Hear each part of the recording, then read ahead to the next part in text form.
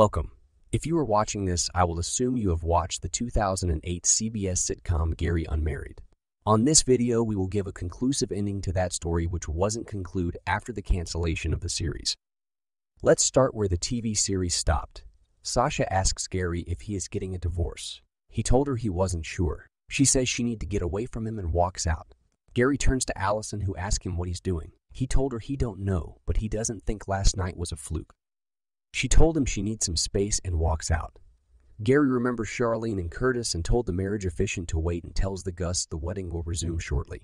He walks into the house to find Curtis knocking on the door of the room. Charlene is in begging her to come out. Gary tried to help, but she told them both to go away. Gary climbed into the window of the room Charlene was in.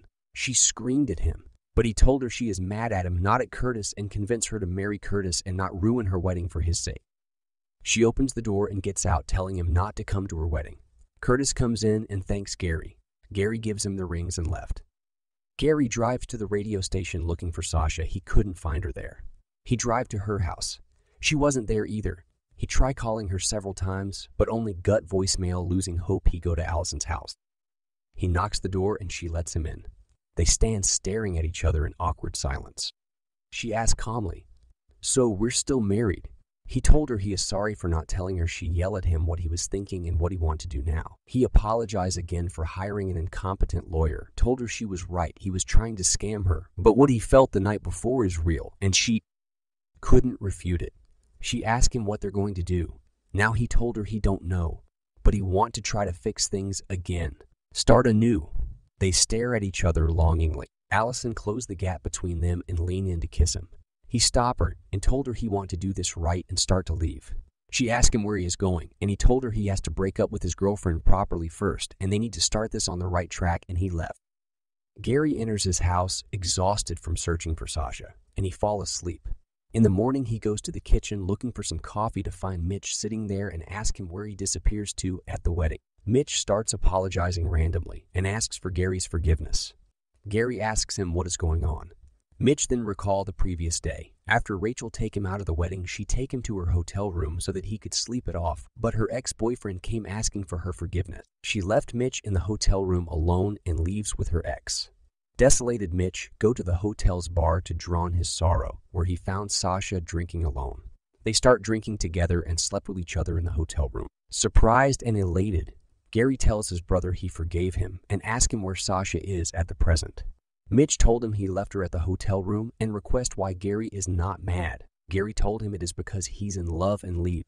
Gary knocks on the hotel room's door and waits for Sasha to open it. A hangovered Sasha with messy hair opened the door. They exchange half-hearted greeting and she let him in. And inside, Gary apologies for not telling her he was still married. She apologizes for sleeping with his brother and she only did it to hurt him. He assured her he wasn't mad at her. She asked what their next step will be. He told her for his children's sake he has to try and put his marriage back together and try to be a better father and husband. He asked if she's okay with that. She told him she really hate him, but she also understand where he's coming from. They hug and Gary left, but not before Sasha told him his brother was a better lover than him. Gary pick up roses before going to Allison's house, where Louise opened the door. She asked what's going on. Gary couldn't explain the situation because he wasn't sure what to say to the kids and when to say it. She asked why he got her mother flowers. He lied and say he was going to a funeral and asked why so much questions he thought she was the smart one. Tom walked down the stairs and rescue him. Gary asked the kids where their mother were. Tom say she gone out to her friend's house. Gary joke, what a friend, and put things together. He told Louise.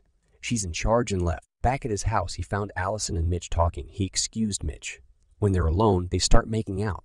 Allison interrupts their kissing, asks what their next step will be. He told her they would start slow and try to build step by step and not put themselves under a pressure of marriage. She asks, what about Sasha? He told her that is over, but he don't know what to tell their kids. Allison told him they need to keep this a secret from the children until they figure it out. A few weeks later, things are going well between Allison and Gary, but their sneaking around made their kids suspicious. Louise tells her suspicion to Tom and they devise a plan to catch them. One night, as Allison put them to bed and say goodbye and leave, they sneak out and follow her to Gary's house, where they see their parents kissing hello through the window. They open the door and told their parents they had a suspicion and ask what they're doing now. Allison tries to explain to them calmly that she has been seeing their father and asks them how they feel about that. Tom says they are happy with that which lift a huge burden off the parent's shoulder. All four share a group hug. Gary break the hag and told them he was waiting for these moments and be sure the kids are okay. It before asking the question, and he proposed to Allison, who accepted his proposal, and they all celebrate. This was a conclusion to the series Gary Unmarried. I hope it gives you a closure. Make sure to subscribe. Our next video will be on the 2013 ABC series Devious Maids. I will see you then.